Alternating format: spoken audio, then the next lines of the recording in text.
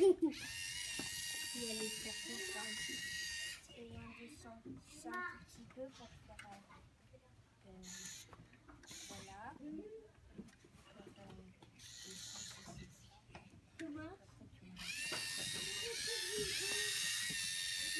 mets-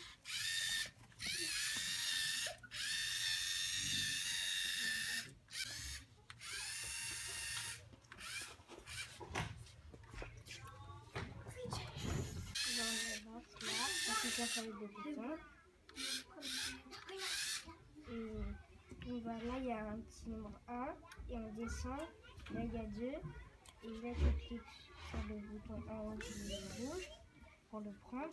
Après, tu remets 1, après, tu fais le bouton. Après, on peut le déposer sur le